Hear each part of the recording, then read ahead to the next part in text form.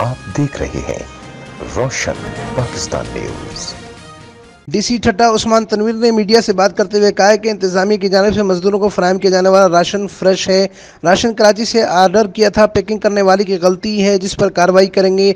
Packing करने वाले ने मुख्तलिफ़ कंपनियों के एक्सपोर्ट क्वालिटी बैग में बंद कर दिए, जो कि गलत था। हमने इस पैकिंग करने वाले को सख्ती से मना किया कि ऐसा न करे। पैकिंग वाली की गलती की वजह से आवाम में बेचैनी फैली हुई है, जिस पर मैं मादत खुआ हूँ। तमाम बैग्स में राशन मीरी है। पैकिंग करने वाली की गलती पर इसकी रकम भी रोक दी है। डिप्टी कमिश्नर ठट्टा उस्मान तनवीर की सहाफ़ियों से गुफ्तु अमीन फ़ारूकी रोशन पाकिस्तान न्यूज़ सिंध।